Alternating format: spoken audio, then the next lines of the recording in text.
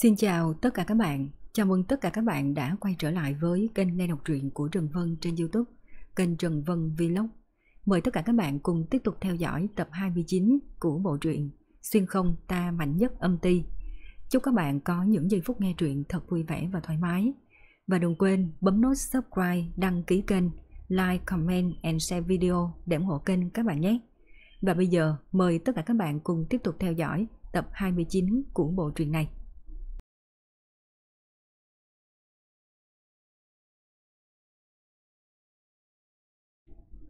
Thấy từ thanh bị trúng tên, sắc mặt của lão thiên sư xa sầm. Ông nhanh chóng đỡ hắn dậy rồi dìu vào trong thuyền. Mấy người triệu hằng nhìn thấy cảnh này cũng nhanh chóng xông ra. Chỗ ngực bị trúng tên của từ thanh đang không ngừng bị ăn mòn. Từ vết khoét sâu chỉ bằng ngón tay cái, nhưng nay đã càng ngày càng lan rộng ra. Linh lực của lão thiên sư không ngừng truyền vào người hắn, thế nhưng hiệu quả không mấy rõ rệt, chỉ có thể áp chế được một lúc rồi vết thương lại tiếp tục lan ra. Mãi tới khi trời đã tối, thuyền chạy được xa 7-800 dặm. Sắc mặt lão thiên sư tái nhợt, không thể nào tiếp tục giúp từ thanh được. Mọi người vây lại quay một chỗ, không khí phá lệ, trầm lặng. Tới đâu rồi? Từ thanh mở mắt, uể oải hỏi. Với tốc độ này thì chỉ sợ 10 ngày nữa mới có thể tới được thành vô quy. Triệu Hằng tới bên giường trầm giọng trả lời. Thương thế của hắn đã nặng tới mức này, ngay cả lão thiên sư cũng đã không thể nào áp chế được, sợ là không về tới được thành vô quy. Trừ phi, Phong Diệu có mặt ở đây ngay vào lúc này, nếu không, ba ngày nữa, Từ Thanh sẽ đăng xuất khỏi trái đất mất. Rốt cuộc, mũi tên này có cái gì, sao lại không thể ngừng ăn mòn cơ thể chứ? Tưởng Nguyên Quân lo lắng quay sang hỏi lão thiên sư. Tôi cũng không biết. Đây là trường hợp đầu tiên tôi thấy. Lão thiên sư lắc đầu thở dài. Triệu Hằng, đỡ tôi dậy. Tôi muốn đi lên bon thuyền. Tưởng Nguyên Quân, anh bảo thuyền trưởng tạm ngừng lái một lát. Từ Thanh đột nhiên lên tiếng. Tới nước này rồi mà cậu còn ra ngoài làm gì? Yên tâm nghỉ ngơi đi. Có chuyện gì thì cứ nói tôi làm là được mà. Tưởng Nguyên Quân đè vai Từ Thanh xuống không cho hắn bò dậy. Cậu ấy nói rất đúng. Cậu cứ nằm nghỉ ngơi đi thì tốt hơn. Triệu Hằng cũng phụ hòa theo. Từ Thanh dở khóc dở cười. Tôi hiểu rõ thương thế của mình hơn ai hết. Các anh tưởng tôi rảnh rỗi xin nông nổi. Tự nhiên đòi đi hong gió, Ngắm hoàng hôn sao? Vậy cậu lên đó làm gì? Triệu Hằng nghi hoặc. Đừng hỏi nhiều như vậy mà làm gì, Ra đi là biết. Từ Thanh khoác thêm lớp áo mỏng, Lúc đứng dậy, Vết thương lại ngày càng bị rách ra to hơn. Hắn lọng khọm đi từng bước lên phía trước. Mỗi bước chân là một trận đau đớn tới tận xương truyền tới. Từ thanh chỉ nhíu chặt mày, không hề phát ra tiếng kêu than đau đớn. Sau khi lên tới nơi, hắn lấy ra một miếng vải rồng to bằng lòng bàn tay. Đây là vật mà lần trước quỷ long đã giao cho hắn. Nhìn từ thanh như ảo thuật gia, đột nhiên biến ra miếng vải rồng. Tuy Triệu Hằng rất kinh ngạc nhưng vẫn cố nhìn xuống không hỏi. Những người khác cũng vậy, không một ai mở miệng thắc mắc. Bọn họ đã bắt gặp chuyện này rất nhiều lần rồi. Kể cả khi từ thanh chiến đấu, rõ ràng có cầm kiếm, nhưng khi lên thuyền lại biến mất một cách bí ẩn. Từ thanh không để ý nhiều, dùng hai ngón tay kẹp lấy vảy rồng, niệm chú rồi ném vào biển. Sau đó hắn quay sang nói với Triệu Hằng. Đây là hoa bỉ ngạn lúc trước, để cho anh và thẩm trùng một đóa cho Vân Du một đóa. Lấy ra hai cái hộp gỗ từ trong không trung, Từ Thanh đưa cho Triệu Hằng một cái, rồi đưa cho Lão Thiên Sư một cái. Đây là thù lao mà Thượng quan Tuyết đưa cho hai chúng ta, ngài cũng nhận đi. Nhìn dáng vẻ Từ Thanh như đang lo liệu hậu sự cho chính mình, Lão Thiên Sư bỗng thấy lòng chua xót. Ông chỉ yên lặng nhận lấy, không nói gì thêm. Nếu không phải lần này ông rủ hắn cùng tới đón bọn Triệu Hằng, thì có lẽ đã không xảy ra chuyện như vậy rồi. Đừng nhìn tôi bằng ánh mắt đó chứ, tôi còn chưa chết mà. Lúc này, mặt biển tĩnh lặng bỗng nhiên xuất hiện từng vòng xoáy nhỏ. Nó càng ngày càng lớn dần lên. Chưa đầy một phút đã thành vòng xoáy có đường kính hơn 10 mét. Sau đó thuyền lớn có chút chao đảo, giống như đang bị hút vào trong vòng xoáy. Mọi người cứ về trước chờ tôi, nếu như ba ngày sau tôi còn chưa về, vậy thì không cần chờ. Nói rồi, Từ Thanh dẫm chân lên mũi thuyền, rồi thả người nhảy xuống vòng xoáy. Triệu Hằng vừa mất cảnh giác một lát, đã để cho Từ Thanh rời tay đi, sau đó chỉ biết trơ mắt nhìn hắn nhảy vào trong biển. Đang định nhảy xuống cứu người thì đã bị lão thiên sư túm lấy cổ áo, lôi trở về. Sư phụ, người làm gì vậy? Nhanh bớt Từ Thanh lên đi.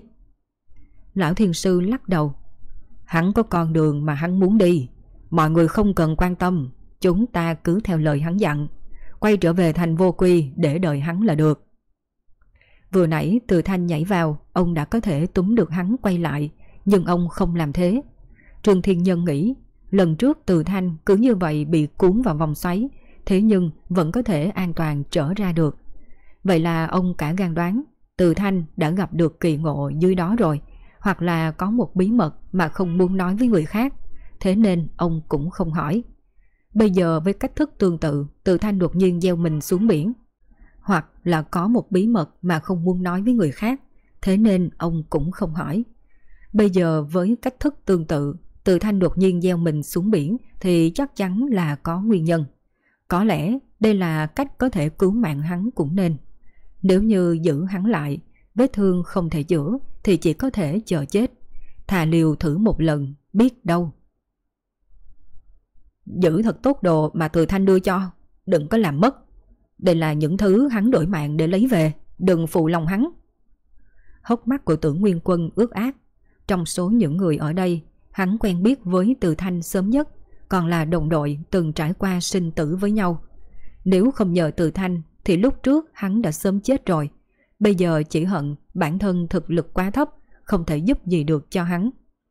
Và lúc bọn họ đang thương tâm bên này, thì ở thành Trường An đã bị Từ Thanh làm loạn hết lên. Đầu tiên là Thượng quan Tuyết đứng chắn trước cổng của phủ tướng quân, nói ông ta thừa dịp hộ vệ quỷ vương nhà mình không có mặt mà cướp đi dược liệu quý giá cùng huyết vân cương. Nếu số đó quy ra tử tinh thì cũng phải 5-600 ngàn. Mấu chốt là Thượng quan Tuyết bắt được chứng cớ, tìm được trong mật thất nhà động hổ có rương hàng của nhà mình. Trong rương có khắc ấn ký của Thượng quan gia. Động hổ có nói như nào cũng không nói rõ được. Thượng quan Tuyết khăng khăng rằng đồ bên trong đã bị động Gia đánh tráo, không phải thuốc lúc đầu của nhà mình. Bên phía cô ta cũng có chứng cứ chứng minh là đơn hàng bán cho Dương Quốc An. Lúc chuyển hàng ở bến tàu đã kiểm tra qua và có dấu đỏ thông quan. Trong lúc nhất thời, động hổ bị đẩy lên đầu sóng gió. Cả triều đình cũng đều tham gia điều tra. Trên phố không ngừng truyền ra những lời đồn khác nhau. Có người nói động hổ bị oan. Cũng có người nói động hổ ngoài mặt là tướng quân, nhưng thực chất lại là cướp đường. Thường xuyên tự ý khiển binh, còn nuôi cả thổ phỉ để phục vụ cho sự nghiệp này. Những vụ án cướp bóc trước đây không có đầu mối đều đổ hết lên đầu ông ta. Còn có lão đầu rùng rẩy đứng ra làm chứng, nói là lúc còn trẻ đã từng gặp phải giặc cướp ở ngoài thành. Trong đó có một người cầm đầu trông rất giống với động hổ. Lúc đó ông ta bị cướp mất 5.000 tử tinh nên bây giờ yêu cầu được bồi thường. Mà tầng lớp trên của đường Vương Triều lại không mấy quan tâm chuyện này. Bọn họ chỉ chú ý tới. Cùng ngày với ngày thượng quan gia bị cướp hàng, tử y hầu trọng thương đang hấp hối. Quốc công Dương Quốc An thì bị phế một cánh tay. Hôm đó, sau khi từ thanh rời đi, đã khiến cho Dương Quốc An đang trọng thương, phải cố lết mình kéo tử y hầu về thành Trường An. Chuyện này bọn họ không dám để lộ ra ngoài. Thế nhưng bên bến tàu có nhiều người như vậy, ai sắc mắt thì đều có thể nhận ra được. Một truyền mười, mười truyền trăm, không mất bao lâu, gần như cả đường Vương Triều đều biết chuyện Tử Y Hầu và Dương Quốc An bị trọng thương. Lúc Thượng quan Tuyết nghe được chuyện này thì chấn kinh không ít. Cô ta không ngờ bọn Từ Thanh, thiếu chút chơi chết đám người Tử Y Hầu. Đặc biệt là có người miêu tả lại kiếm kia của Từ Thanh. Cô ta nghe liền biết, đó là trảm thiên bạc kiếm thuật. Trong lòng Thượng quan Tuyết nén giận. Chuyện này thì tốt rồi. Vì Từ Thanh sử dụng kiếm thuật trảm thiên bạc, nên sau này khi sử dụng chiêu thức này, cô ta phải cẩn thận. Bằng không để cho người khác hiểu lầm là đồng lõa của Từ Thanh. Như vậy thì quá oan uổng. Đặc biệt hiện nay Từ Thanh rất có nhiều kẻ thù. Bất kể là ai trong số họ, cô ta cũng không gánh vác nổi. Bản thân nếu là người đơn độc thì không đáng sợ, cùng lắm thì chạy trốn đến chân trời. Nhưng mà sau lưng thượng quan tuyết còn có em gái, còn có gia tộc. Nhà sư có thể chạy, nhưng ngôi đền không thể chạy theo. Bên kia, ở đường Vương Triều ra sức truy xét, thông tin của Từ Thanh cũng bại lộ. Lúc Minh Vương giao chiến, Từ Thanh nhiều lần dùng bạch cốt tán hồn kiếm, sử dụng kiếm thuật trảm thiên bạc. Trong khi đó, tại đại quân, mấy chục vạn ánh mắt thấy, bây giờ chuyện này xảy ra rất nhiều người liên tưởng đến trận chiến kia. Từ Thanh, tuổi không đến 20, quỷ vương cao thủ, người mang lĩnh vực, biết một chiêu cường đại trong kiếm thuật, vũ khí hình như là bạch cốt kiếm. Chiến tích, làm trọng thương Minh Vương trong trận chiến Dạ Kiêu, làm trọng thương đường Vương Triều, tử y hầu. Tư liệu này vừa ra trong nháy mắt đã khiến cho quỷ vực ồ lên. Có người hiểu chuyện muốn so sánh hắn với 10 đại thiên kiêu của Tần Quốc, nhưng không có ngoại lệ, đều cảm thấy từ thanh nghiền ép bọn họ, không thể nào so sánh với nhau. Trong khoảng thời gian ngắn, có người nói hắn là người trẻ tuổi mạnh nhất giữa hai giới quỷ vực và nhân gian. Lời này vừa ra, đường Vương Triều còn có người đem Vương Tiên Âm ra bàn luận. Bọn họ tỏ vẻ không phục. Dù sao, từ thanh mạnh như vậy, lúc bị Vương Tiên Âm bắn một tiễn trọng thương, bây giờ sống chết còn không biết. Ngoài giới, mọi người bàn luận về từ thanh rất sôi nổi. Còn ở đáy biển vô quy. Tiền bối, ngài đừng nhìn tôi như vậy được không? Trước tiên, ngài có thể cầm máu vết thương được không? Tôi sắp chết rồi. Nhìn từ thanh từ trên xuống dưới, quỷ long vừa nhìn chăm chăm vào hắn, nhìn trái nhìn phải, vừa phát ra âm thanh cảm thán chà chà. Cậu đúng là có khả năng gây chuyện, lần này đi bao lâu liền bị thương nặng như vậy. Tiền bối, chuyện này nói sau được không? Bây giờ là lúc nào rồi? Tôi cần ổn định vết thương. Từ thanh nói như sắp khóc. Đừng nóng vội, tôi đây không phải đang xem cho cậu sao. Vậy ngài xem kỹ chưa? Ừm, được lắm. Quỷ Long phun một hơi về từ thanh. Một hào quang màu đỏ bao phủ người hắn. Trong hào quang đỏ bao trùm, vết thương không ngừng nứt nẻ của từ thanh cũng từ từ ngưng. Sau khi thương thế ổn định, quỷ long đã làm thì làm cho xong, phun ra một luồng long khí khác vào trong cơ thể từ thanh. Vết thương to bằng miệng chén trên ngực đã hồi phục nhanh chóng với tốc độ có thể nhìn thấy bằng mắt thường và nó lành lại trong vòng chưa đầy 2 giờ. Này thì tốt rồi, nhưng sao linh lực của tôi vẫn chưa hồi phục? Từ thanh vô lực đứng dậy. Cậu nghĩ cậu và tôi đều là thần tiên sao? Nghe từ thanh nói như vậy, quỷ long xích nữa phun ra một ngụm máu. Cậu có biết tôi vừa mới cứu cậu đã tốn bao nhiêu tâm huyết không? Nếu muốn hoàn toàn khôi phục nào có dễ dàng như thế. Trở về dưỡng sức đi, nhanh thì một năm rưỡi, chậm thì ba năm năm năm. Trong thời gian này cậu không được vận dụng linh lực. Bằng không, linh lực của tôi va chạm với cậu, cậu chết cũng đừng có trách tôi. Dù sao thì cũng đã cứu rồi, vậy thì tiền bối lại tốn thêm chút sức đi, tôi sẽ sớm khỏe lại thôi. Từ thanh chẳng biết xấu hổ mà nói. Cút đi! Chiếc đuôi nhẹ nhàng cuộn lên người từ thanh và hất ra ngoài. Từ thanh trồi lên mặt biển, lúc đó một con dao vương đã đợi sẵn. Nó cõng từ thanh trên lưng và bơi đến thành vô quy.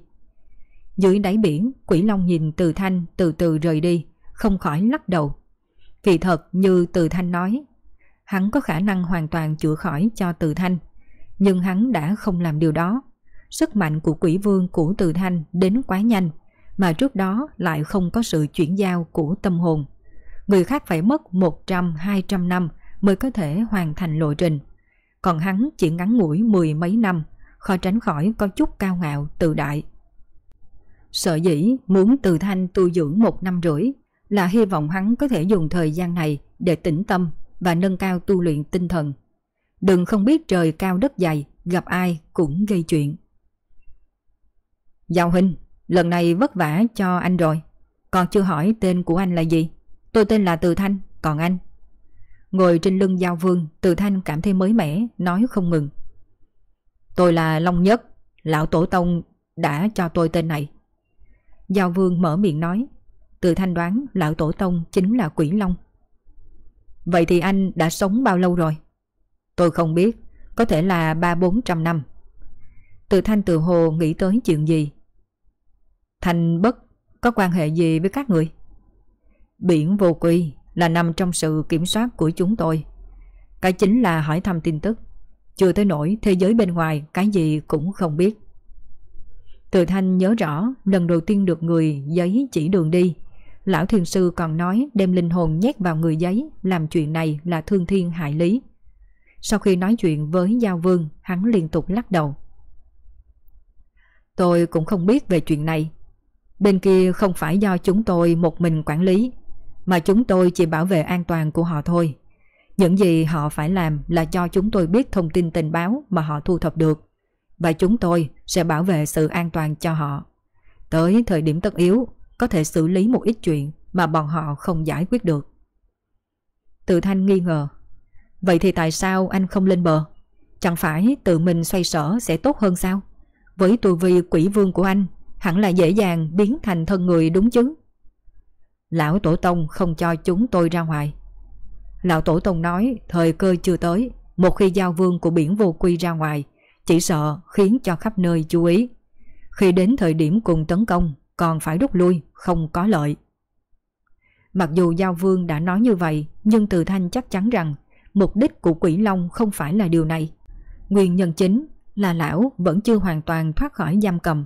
Nếu khiến cho quỷ quân khác chú ý, lão không chết cũng bị lột da. Tốc độ của Giao Vương rất nhanh. Lúc hừng đông, Từ Thanh đã đuổi kịp thuyền của nhóm người lão thiên sư. Lão thiên sư thực lực cực mạnh, đầu tiên liền cảm giác được Giao Vương tiếp cận. Vừa chạy ra, liền nhìn thấy cảnh tượng không bao giờ quên trong đời. Từ thanh ngồi trên cổ Giao Vương, mà Giao Vương thì cung kính nâng đầu lên để hắn lên thuyền. Sau khi đưa từ thanh lên thuyền, Giao Vương lặn xuống đáy biển rồi biến mất. Cậu không sao chứ? Chờ cho Giao Vương đi rồi, lão thiên sư cô nén sự kinh ngạc trong lòng, bước lên phía trước, kích động nói với từ thanh. Làm sao có thể dễ dàng như vậy được? Có thể một năm rưỡi nữa tôi không có đồng thủ được. Vậy là tốt rồi. Lão thiên sư nhẹ nhõm thở ra một hơi. Từ thanh đã có thể yên ổn một năm rưỡi. Lão vẫn rất là vui mừng. Từ thanh dở khóc dở cười. Sao tôi nghe giọng điệu của ngài Dường như muốn tôi nằm lâu một chút à, Làm sao có thể chứ Tôi thấy cậu không sao Tôi vui mừng còn không kịp mà Lão thiên sư chính trực phủ quyết nói. Lúc này nghe thấy âm thanh trên bon thuyền, đám người triệu hằng cũng đi ra, đột nhiên thấy còn bị nhảy lên. Cậu không phải hôm qua vừa mới đi sao? Làm sao trở về nhanh như vậy? Tưởng Nguyên Quân không tưởng tượng nổi. Lần sau tôi bị thương hay là cũng thử bơi một vòng xem? Được đấy, anh không sợ chết thì có thể nhảy xuống bơi đi. Được rồi, lần này có thể đưa mọi người toàn mạng trở về đã là chuyện tốt. Xem như kết quả của chuyến đi này không tệ đi. Lão thiên sư không thể không cảm thán số tự thanh thật không được may mắn. Mọi chuyện lúc đầu vẫn hết sức thuận lợi, toàn bộ quá trình bọn họ đều không cần nhúng tay vào. Thế nhưng, ngờ đâu lại lòi ra một vương tiên âm đối đầu trực diện với từ thanh.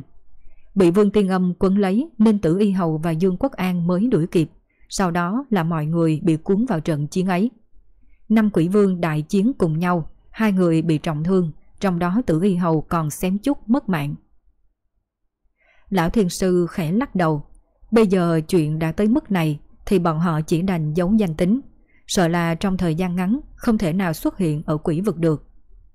Mọi người đi trên chiếc thuyền bị hư này, tốn hết 10 ngày thì rốt cuộc cũng đến thành vô quy. Xuống thuyền, tưởng Nguyên Quân đi dạo phố cùng Phùng Tĩnh.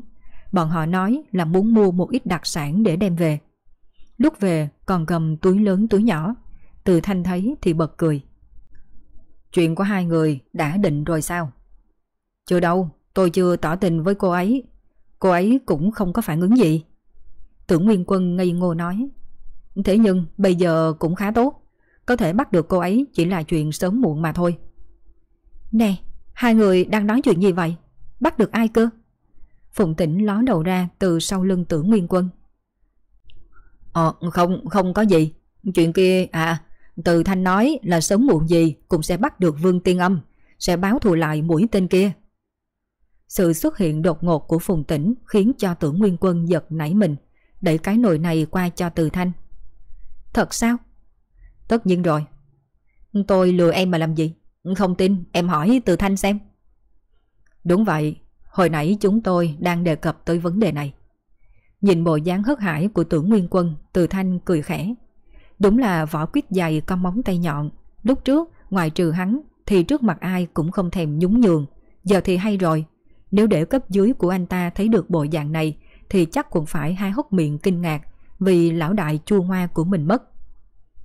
Sau khi Phùng Tĩnh rời đi, tưởng Nguyên Quân mới cười cười. Khi nãy cảm ơn cậu nha. Có gì mà phải cảm ơn chứ. Nếu như anh nghe vế sau tôi nói thì không hận tôi là tốt rồi. Quan hệ của chúng ta là như nào thì nói thẳng là được. Làm gì tới mức hận hay không hận chứ? Thấy Từ Thanh có vẻ nghiêm túc, tưởng Nguyên Quân thử hỏi. Không phải, cậu làm chuyện có lỗi với tôi thật chứ? Này, tôi có một tin tốt, một tin xấu. Anh muốn nghe tin nào trước? Từ Thanh cười gian. Gì mà ra vẻ vậy? Có chuyện gì thì nói đi. Còn cố tình dây dưa mà làm gì? Bớt lắm lời đi. Chọn nào? Uhm, vậy thì tin xấu trước đi. Khổ trước sướng sau. Nếu không thì con tim yếu đuối này của tôi không có trụ nổi mất. Nhìn tưởng Nguyên Quân tí tưởng cười đùa, còn ra vẻ không đứng đắn, từ thanh khuôn mặt tối sầm. Mong là lát nữa anh vẫn sẽ cười được như vậy. Chẳng là lúc trước khi tới tìm mọi người thì tôi có gặp được tiền bối Diệp Hồng Lăng ở thành Viêm Hoàng. Bà ấy cũng chính là bà ngoại của Phùng Tĩnh. Rồi sao nữa? Không hiểu sao tưởng Nguyên Quân lại thấy chột dạ, cảm giác như tin tức đằng sau sẽ khá là tồi tệ. Cũng không có gì, chỉ là bà ấy thấy tôi quá ưu tú, định tác hợp cho tôi một mối hôn sự. Đối tượng chính là châu gái của bà ta. Mà cô gái ấy là ai thì anh biết rồi. Từ Thanh uống một ngụm trà rồi thản nhiên nói. Sau đó thì sao nữa? Lúc đầu tôi còn nghĩ bà ấy đã lớn tuổi như vậy rồi. Vậy thì cháu gái không phải là ở tuổi trung niên rồi sao? Thế nên tôi cũng dính họa rồi. Nhìn nét mặt dần trở nên khó coi của tưởng Nguyên Quân, Từ Thanh nói tiếp. Anh nói xem, tôi đã là người thành gia lập thất, sao đồng ý được? Đúng đúng đúng, chắc chắn không thể đồng ý. Vậy thì khác gì phản bội lại nàng dâu trong nhà cậu đâu? Bội tình bạc nghĩa ư? Nhân cách của cậu ai cũng biết mà. Bên ngoài trường nghĩa, bên trong si tình. Dịp tiền bối như vậy là không được rồi. À, hay là... Tưởng Nguyên Quân như nghĩ tới điều gì, đột nhiên nói. Hay là bà ấy đang thăm dò? Thật vậy sao? Tôi thấy không phải vậy đâu. Lúc đầu tôi có từ chối, thế nhưng bà ấy rất là cương quyết. Nhất nhất phải mai mối cho tôi. Nói xem giờ tôi còn cách nào sao? Cậu không nói chuyện mình đã kết hôn cho bà ấy biết ư? Từ thanh xoắn suýt bất đắc dĩ nói. Tôi có nói chứ. Thế nhưng bà ấy bảo đàn ông thì tam thê tứ thiếp là chuyện thường, chứ có gì to tác đâu. Tưởng Nguyên Quân nắm chặt năm đấm, đắng chắc nói. Vậy cậu đồng ý sao? Không có, sao lại làm như vậy được? Anh cũng nói rồi đấy thôi, tôi là người chung thủy. Nếu như đồng ý với bà ấy thì có lỗi với vợ tôi lắm chứ. Đúng là huynh đệ tốt, tôi không nhìn nhầm mà, quả nhiên loại chuyện này cậu sẽ không có làm. Tưởng Nguyên Quân vui vẻ vỗ vai Từ Thanh. Nghe lời Từ Thanh kể mà nhịp tim Tưởng Nguyên Quân cứ lên xuống như đồ thị hình sinh. Nếu cứ thế nữa chắc anh ta không chịu nổi mất. Ây đừng, tôi không nhận lời khen này được đâu. Lúc ấy rất khó để từ chối. Hiểu được mà, gặp phải chuyện này thì quả là khó xử lý vẹn cả đôi đường. Vậy biết sao tôi lại từ chối được cọc hôn sự này không? Từ thanh cười bí hiểm, không đợi cho tưởng nguyên quân kịp lên tiếng, đã nói tiếp. Tôi giới thiệu cho bà ấy một thanh niên tài tuấn khác. Vậy là thành công chuyển dời mục tiêu rồi. Sao tôi thông minh chứ? Còn mẹ nó cậu đúng là thông minh. Tưởng Nguyên Quân nghiến răng nói, ngay cả lòng muốn đánh chết Từ Thanh cũng trỗi dậy rồi. Này nhẹ thôi, anh bóp vai tôi mạnh như vậy mà làm gì? Nhìn dáng vẻ cúi đầu ủ rũ của anh ta, một lúc sau Từ Thanh mới tiếp tục. Anh còn chưa hỏi tôi tin tức tốt là gì đâu. Cút đi, ông đây không muốn nghe nữa. Nói xong, tưởng Nguyên Quân liền bước ra ngoài. Có chắc là không muốn nghe hay không, đừng có hối hận nha. Tưởng Nguyên Quân dừng bước chân ở cửa, Sau đó quay đầu. Nói đi, tôi nghe đây. Vậy anh không muốn hỏi xem, Cháu rể mà tôi đã đề cử cho dịp tiền bối là ai sao? Tôi thèm vào, Đây là chuyện tốt của cậu hả? Cậu đề cử ai thì liên quan rắm gì tới ông đây?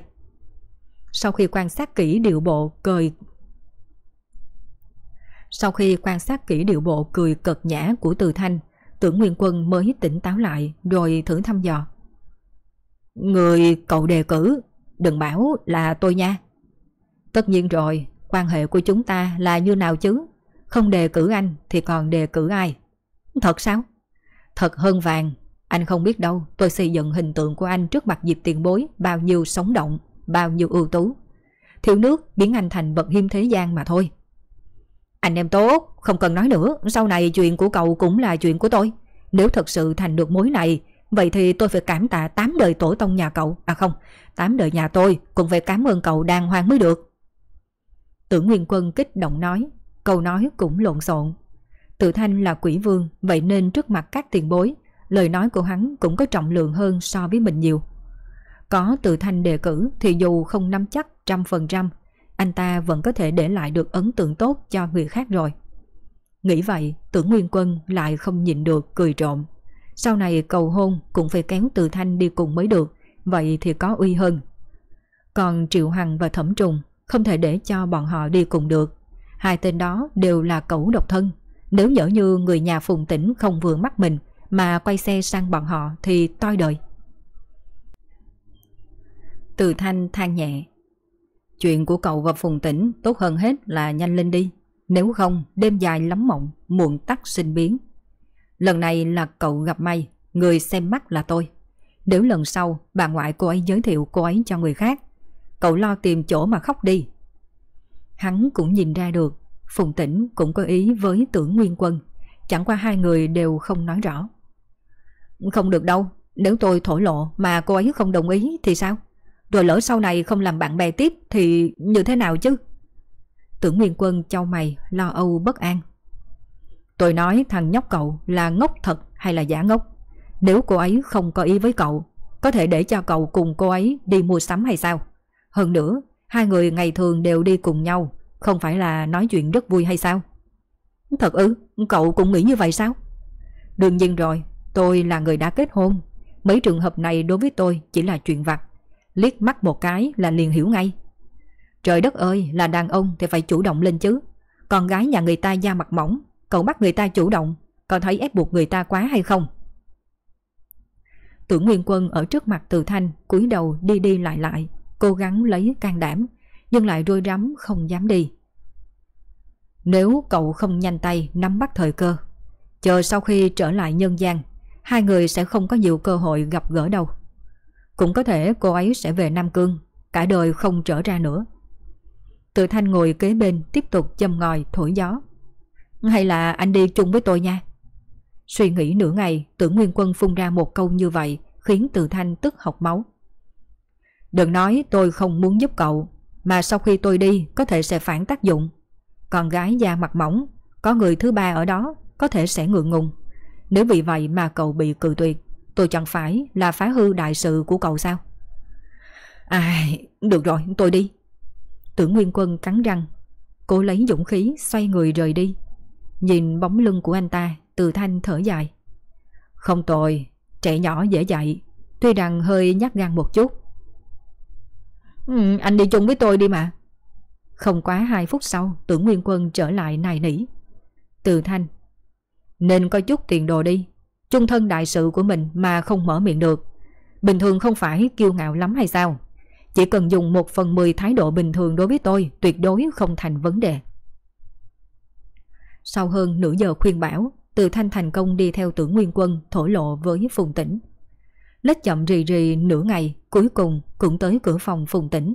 Nhưng tưởng Nguyên Quân sống chết không chịu gõ cửa. Hay là mình đi về đi? Nghe được lời này của tưởng Nguyên Quân, từ thanh trên ráng nổi lên vài đường hát tuyến. Đều đã đến đây rồi sao có thể về được chứ? Phanh một tiếng, cửa phòng phùng tỉnh vốn không khóa, bị từ thanh đạp một cái mở tung ra. Lúc tưởng Nguyên Quân đang mặc đực ngơ ra, liền bị từ thanh thuận thế đẩy hắn vào. Nè, hai người các anh đang làm gì? Nhìn cửa bị đá văng, tưởng Nguyên Quân đang nao núng, Phùng Tĩnh đang đọc sách thì vô cùng tức giận. Không có gì, là đi ngang qua định ghé vào thôi. Là như thế này, cậu ta muốn tỏ tình với cô, nhưng một mình không dám nên kéo tôi sang đây. Đứng trước cửa chà lết nửa ngày là sợ hãi muốn chạy đi. Tôi đành phải xô anh ta vào. Tưởng Nguyên Quân còn chưa nói xong đã bị Từ Thanh ngắt ngang sau đó vạch trần toàn bộ.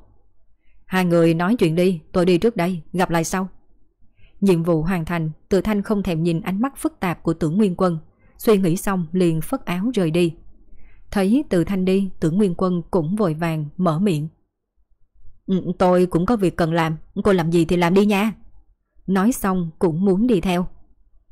Tôi không có gì cần làm, anh chờ một chút, tôi có việc muốn nói với anh. Phùng Tĩnh không chút hoang mang. Sau khi tặng cho tưởng Nguyên Quân một cái nhìn cổ vũ, Tự Thanh nhanh chân rời đi. Trước khi đi, hắn còn không quên giúp bạn mình đóng cửa. Còn đứng đó mà làm gì, ngồi đi. Thấy tưởng Nguyên Quân giống như học sinh tiểu học phạm sai lầm, Phùng Tĩnh nhìn không được nở nụ cười. Tưởng Nguyên Quân ngồi xuống một cây ghế, ánh mắt nhìn loạn khắp nơi, nhưng mà không dám nhìn thẳng vào Phùng Tĩnh. Tự Thanh nói, anh tới đây là để tỏ tình sao? Tưởng Nguyên Quân gật đầu ừ một tiếng. Là anh ta bảo anh tới, hay là bản thân anh muốn tới? Tưởng Nguyên Quân không do dự gật đầu. Là chính tôi muốn tới. Đây rõ ràng là một câu hỏi cho điểm, nhưng nếu trả lời không tốt thì câu hỏi toi mạng. Em biết anh thích em, nhưng bình thường ở chung với nhau lâu như vậy, cũng chưa thấy anh thổ lộ. Sao hôm nay tự nhiên lại đến đây? Từ Thanh nói lần này trở về em sẽ không rời khỏi Nam Cương nữa. Anh không muốn mình phải hối hận, cho nên tới đây. Trạng thái của tưởng Nguyên Quân đã đạt mức tốt, không khẩn trương như lúc mới đầu. Ai nói em không rời khỏi Nam Cương nữa? Anh ta bị đặt mà anh cũng tin sao? Phùng Tĩnh không nói nên lời. Chân mọc trên người của em, em muốn đi đâu thì đi đó chứ. Anh ấy còn nói rằng bà ngoại em giới thiệu em cho Từ Thanh. Nếu như anh không có nhanh chân, em sẽ lập gia đình. Cái gì? Còn có chuyện này sao? Phùng Tĩnh nhướng mày, cúi đầu trầm tư không nói nữa. Kỳ thực, anh là một người tốt. Một lúc sau, Phùng Tĩnh nhìn Tưởng Nguyên Quân nói một câu như vậy. Trái tim của Tưởng Nguyên Quân lệch một nhịp, cả người lập tức lạnh đi một nửa. Có một lần, Từ Thanh huấn luyện cho anh ta từng nói rằng nếu sau khi tỏ tình cô gái nói anh là người tốt, như vậy chuyện này phần nửa là bể rồi. Vậy hả? Tưởng Nguyên Quân cười khổ, một cảm giác mất mát dâng trào, đứng dậy đang chuẩn bị rời đi. Phùng tĩnh, kinh ngạc. Anh đi đâu vậy? Em còn chưa nói hết mà. Không có gì, em nói đi, anh đang nghe. Gắn gượng nở nụ cười, tưởng Nguyên Quân quay lại ngồi. Ở Nam Cương, trong tộc của em, thiên phú em là cao nhất. Nếu không có gì bất ngờ xảy ra, tương lai em sẽ kế thừa bà ngoại. Sau đó đi theo con đường của bà, vì gia tộc khổ tâm lao lực cả đời. Mãi cho đến trăm năm sau, lại bồi dưỡng người nối nghiệp mới. Phụng Tĩnh nói ra rất thoải mái, nhưng tưởng Nguyên Quân nghe thì thấy thê lương. Không thể tự mình quyết định cuộc sống của mình, vậy tu luyện vất vả có lợi ích gì? Hắn cũng có gia tộc, nhưng gia tộc của hắn cũng chỉ ba bốn đời, không bằng gia tộc của Phùng Tĩnh, cũng không có nhiều quy củ. Từ nhỏ tưởng Nguyên Quân tu luyện hoàn toàn là do cao hứng, không ai ép buộc hắn, ngay cả cha mẹ hắn lúc đầu cũng không đồng ý. Hiện tại, gia tộc em đều là nhờ vào bà ngoại em chống đỡ. Nhưng một ngày nào đó, bà ngoại cũng sẽ ra đi. Lúc đó em phải làm gì bây giờ? Phùng Tĩnh thì hào nói. Bà ngoại giới thiệu cho Từ Thanh, em cũng không có gì ngạc nhiên. Tính tình của Từ Thanh cũng không tệ, thực lực của Từ Thanh cũng cao. Đi theo Từ Thanh so với trở về gia tộc không có tình người kia cũng tốt hơn nhiều. Có sự hỗ trợ của Từ Thanh, sự thịnh vượng của gia tộc có thể tốt hơn nhiều so với việc em tiếp quản. Tưởng Nguyên Quân sắc mặt tái nhợt, không nói lời nào, trong không khí im lặng. Em cũng thích anh, nhưng sau đó thì sao? Hôn nhân đại sự của em hoàn toàn không do em làm chủ. Một khi chúng ta ở bên nhau, em sẽ về nhà anh. Vậy Nam Cương phải làm sao bây giờ? Bà ngoại em vừa đi, sợ là gia tộc sẽ tan rã. Bà ngoại vì gia tộc trả giá nhiều như vậy, tâm nguyện cả đời bà cũng hy vọng em có thể kế thừa gia tộc, tương lai phát dương quan đại. Anh nói, em có thể nào cùng anh bỏ trốn hay không? Tưởng Nguyên Quân nói với Phùng Tĩnh chuyện gì, Từ Thanh cũng không biết. Bởi vì bây giờ hắn đang trong phòng chuyên tâm học vẽ bùa. Bút lông nhúng sâu vào nghiêng mực chỉ còn chút ít. Mấy tờ giấy bên cạnh đều là phù đã vẽ xong. Cách đặt bút, di bút, tất cả đều được ghi chú rõ ràng. Đây là hắn hỏi xin lão thiên sư để đem về luyện tập, nhân lúc rảnh rỗi thì lôi ra giết thời gian.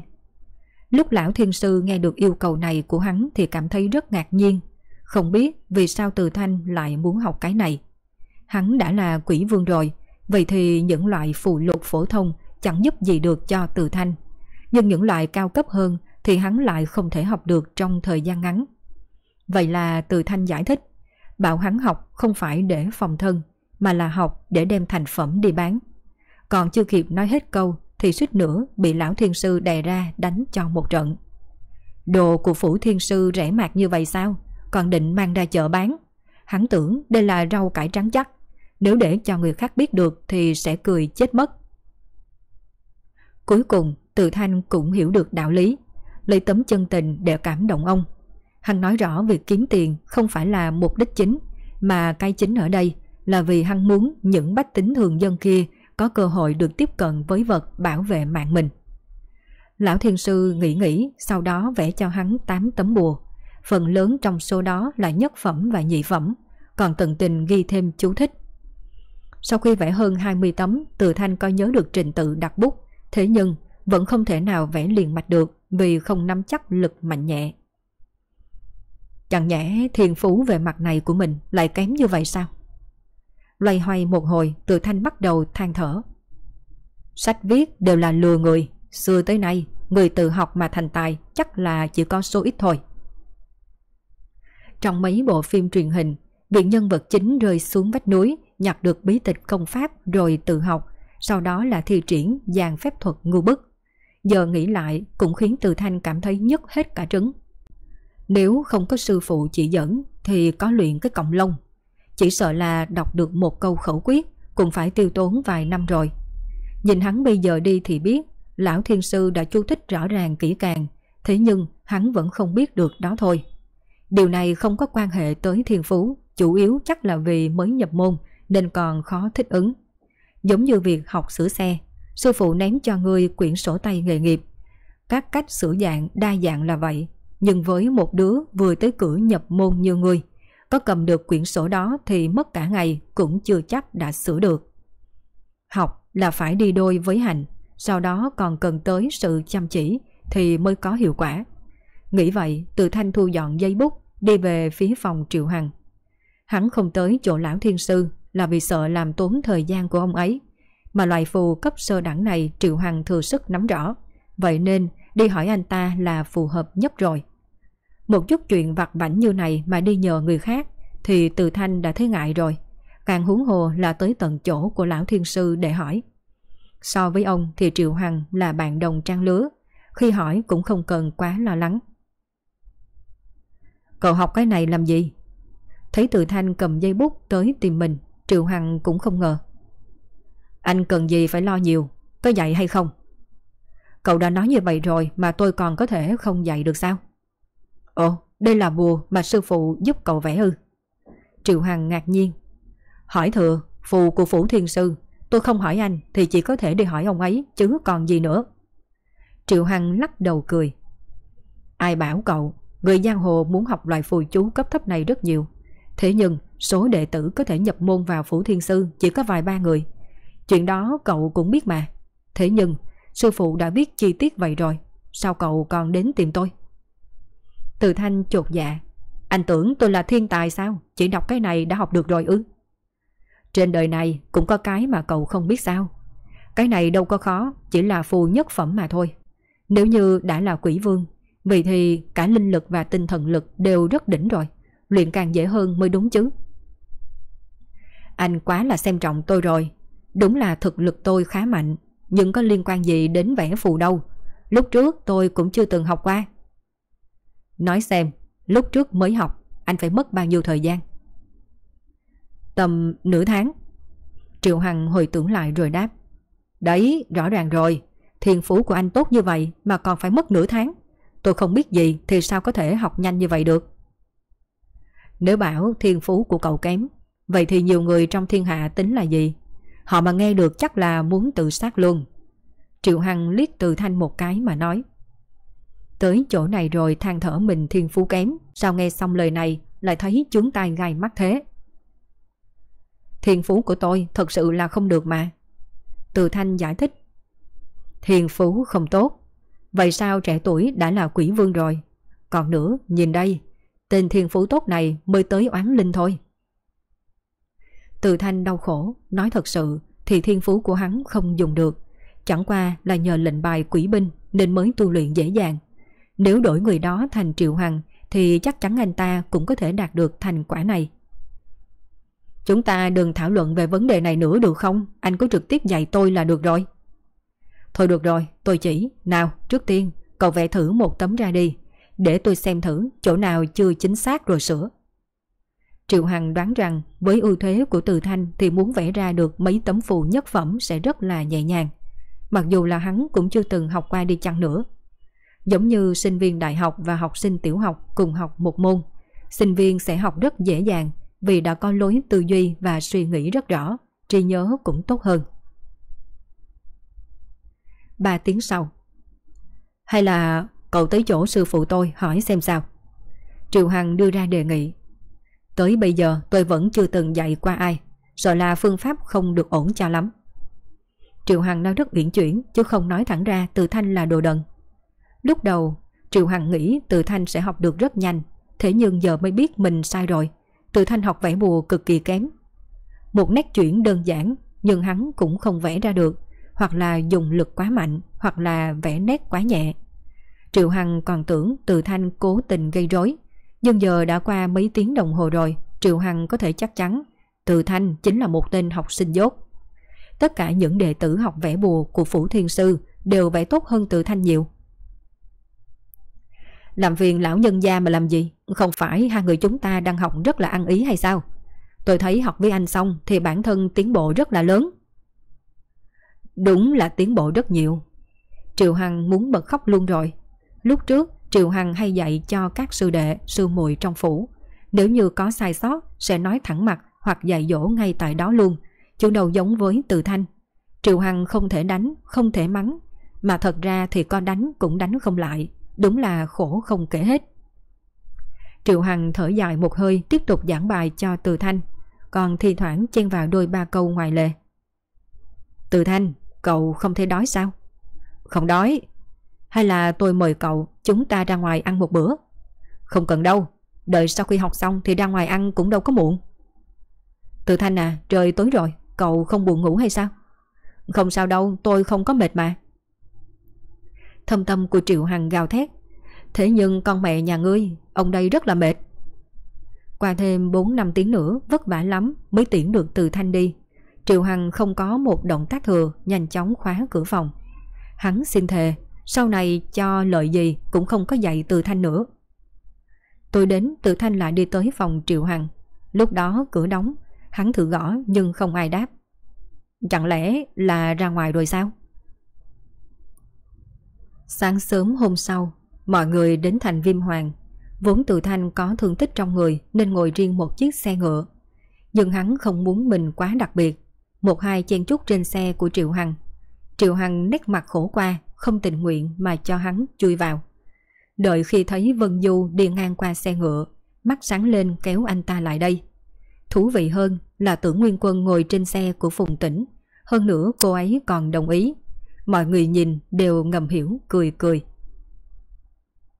Sau khi lên xe, không đợi Từ Thanh lấy giấy bút ra, Triệu Hằng vội nói với Từ Thanh. Chắc là anh còn chưa biết chuyện này, Vân Du là cao đồ Mao Sơn. Nhiều năm đắm chìm trong đó tôi đều tự thấy không có bằng. Ồ, vậy sao? Tôi cũng rất là hứng thú với Trần pháp, chúng ta thảo luận một chút đi. Nói đến đây, Từ thanh tinh thần nhất thời tỉnh táo, lấy dây bút ra muốn học hỏi. Vân Du không hiểu chuyện gì, còn tưởng từ thanh hiểu về trận pháp, khiêm tốn khoát tay áo. Đâu có, đâu có, Triều Hằng quá khen tôi rồi. Bùa Mao Sơn của chúng tôi không thể so với thiên sư phủ. Tôi thì cũng có biết một chút về trận pháp và bùa. Nhưng nếu nói là thông thạo thì tôi cũng không dám nhận đâu. Lão Du, tôi nói anh cái gì cũng tốt.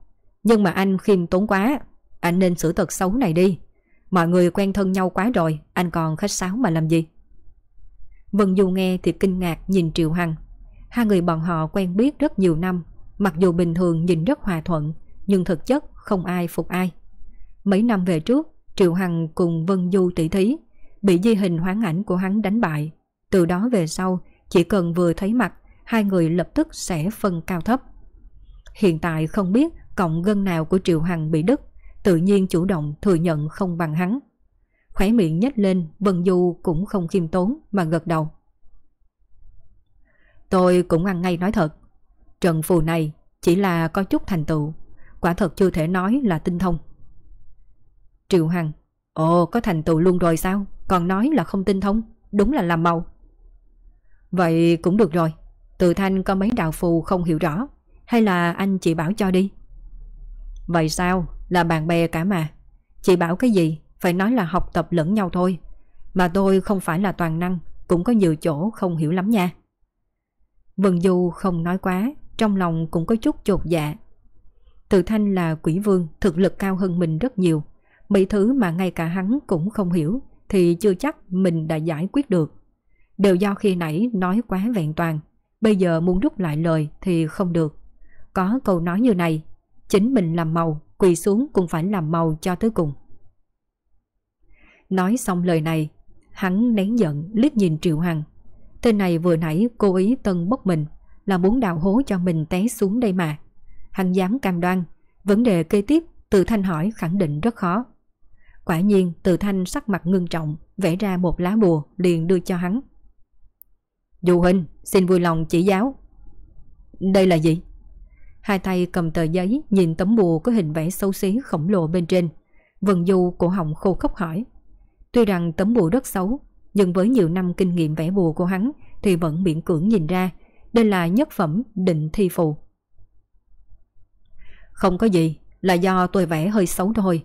Hy vọng cậu có thể góp ý cho tôi vài câu. Ừ, chỉ vậy thôi sao, là chuyện nhỏ. Vân Du thở dài một hơi, một câu đáp ứng. Từ thanh vẽ thật sự rất xấu, nhìn sơ qua cũng có ít nhất 7 điểm sai lầm. Hắn cũng chỉ ra từng điểm một. Hơn nữa còn vẽ lại một lần nữa, để từ thanh nhìn rõ được cách vẽ chính xác. Dạy nửa ngày, từ thanh đã sửa được 4 năm lỗi, nhưng vẫn chưa hoàn toàn lĩnh hội được, không ngừng mà đặt câu hỏi. Thấy từ thanh ngộ tính kém như vậy, Vân Du không còn cách nào khác, chỉ có thể cầm tay từ thanh, tự tay dạy hắn. Nhưng hắn hiển nhiên đánh giá sai thiên phú của Từ Thanh. Tốn 5-6 giờ hiệu quả rất thấp. Nếu là đệ tử của Mao Sơn thì hắn đã sớm vung chân đạp cho một cái rồi. Từ Thanh cũng có chút ngượng ngùng, suy nghĩ một hồi rồi giật mình nói. Tôi biết vấn đề nằm ở đâu rồi. Mấy anh dạy tôi đều là nghĩ tôi nắm chắc cơ bản rồi. Giống như đem giáo trình cấp 2 dạy cho học sinh lớp 4. Hiệu quả đương nhiên là không cao. Vân Du nhíu mày thật chặt, khó khăn nói. Có nghĩa là anh không biết gì hết, hoàn toàn không có căn bản ư. Đúng vậy, tôi mới học 2 ngày thôi, đương nhiên cái gì cũng không biết. À, Thảo nào tôi xem cách cầm bút của anh đều có chút không đúng. Vậy sao ngay từ đầu anh lại học nhất phẩm phụ? Trước hết học cầm bút, sau đó học các nét cơ bản. Sau khi thuần thục lại vẽ bùa, hiệu quả sẽ tốt hơn nhiều. Đúng đúng, Tôi hy vọng có thể được bắt đầu học từ con số 0. Tự thanh gật đầu như gà mổ thóc. Ngày hôm qua Triệu Hằng dạy tôi, tôi cảm thấy thật miễn cưỡng. Cậu ta nói rất nhiều thứ tôi nghe đều không hiểu. Triệu Hằng đã dạy anh ư. Vân Du cao giọng hơn một chút, không thể tin được mà nói, sau đó lộ ra tức giận. Thảo nào hắn tự nhiên tốt tính mà đi khen mình, còn thừa nhận là mình giỏi hơn hắn. Hóa ra hắn bị từ thanh dây dưa mệt mỏi muốn tránh né. Quay đầu vừa thấy Triệu Hằng đang nằm trong góc xe ngựa Người quấn chăn Quay lưng với bọn họ Miệng thì ngáy o o không biết đã ngủ từ đời nào rồi. Nhìn mắt mong chờ của Từ Thanh, Vân Du hàm chúa lệ, gật đầu. Được rồi, tôi dạy anh. Các người còn chưa có ngủ sao? Lúc Triệu Hằng nửa đêm tỉnh dậy, nhìn giấy vụn rơi khắp mặt đất, hai người còn đang viết viết vẽ vẽ thì nét mặt khiếp sợ. Hả? Thì ra đã trễ như thế này rồi ư? Từ thanh nhìn đôi mắt mệt mỏi của Vân Du ngượng ngùng nói. Xin lỗi là do tôi quá chú tâm. Tại sao cậu không nhắc nhở tôi? Đi ngủ đi, ngày mai chúng ta lại tiếp tục. Vân Du Tôi đặc biệt nhắc nhở cậu vô số lần, nhưng cậu không gật đầu ừ ờ. Mà sau đó thì tiếp tục đặt câu hỏi cho tôi. Mấy ngày kế tiếp, mỗi ngày buổi sáng, Vân Du bị Từ Thanh đánh thức. Đồ còn chưa ăn, đã bị bắt đi lính rồi. Mà Triệu Hằng thì luôn ra ngoài đi WC, đi một lần cũng phải 7 tiếng đồng hồ. Hằng nói đi vệ sinh xong liền đến thỉnh an lão thiên sư. Nhìn ánh mắt của Vân Du hoảng hốt, tinh thần không tốt, Từ Thanh có chút không đành lòng. Lão Du, thật xin lỗi đã làm phiền cậu nhiều ngày như vậy, tôi thật quá ngại. Không có gì, mạng của tôi là do cậu cứu. Chút chuyện nhỏ có là gì đâu. Hơn nữa, lúc dạy cậu, tôi cũng đồng thời ôn tập lại nội dung. Đối với tôi cũng có chỗ tốt. Từ Thanh biết đây chỉ là cây cớ, mỗi ngày đều dạy học sinh tiểu học ai mà chịu nổi. Bản thân cũng không có không gian tự do. Như vậy đi, chờ sau khi vết thương lành, tôi sẽ làm bồi luyện cho cậu. Chỉ cần tôi có thời gian, khi nào cũng được. Vậy thì quá ngại rồi. Anh đừng nói cái này, chúng ta tiếp tục vẽ bùa đi. Nếu anh không hiểu gì thì cứ hỏi tôi. Vân Du mừng tới mức miệng muốn nứt tới mang tay. Có quỷ vương bồi luyện cho, chuyện tốt thế này dù có đốt đèn lồng cũng tìm không ra. Mao Sơn bọn họ cũng có một quỷ vương, nhưng mà vị này bùng đều chôn tới cổ rồi. Mấy năm rồi chưa gặp lần nào, huống chi là đi học hỏi. Mà chính sư phụ hắn vẫn chỉ là oán linh đỉnh phong, đồ vật có thể dạy cho hắn cũng không nhiều lắm. So với thiên sư phủ, Mao Sơn còn kém rất nhiều. Tuy là tu vi của Từ Thanh trong con đường phù đạo không tốt lắm, nhưng mà thực lực của hắn mạnh, kinh nghiệm chiến đấu cũng nhiều hơn mình. Mấu chốt là Từ Thanh có kinh nghiệm đột phá quỷ vương, chuyện này rất quan trọng. Có biết bao nhiêu người cả đời đều mắc kẹt ở oán linh đỉnh phong đều là bởi vì không có quỷ vương chỉ điểm. Kết thúc tập 29 của bộ truyện Xuyên không ta mạnh nhất âm ti. Cảm ơn tất cả các bạn đã theo dõi.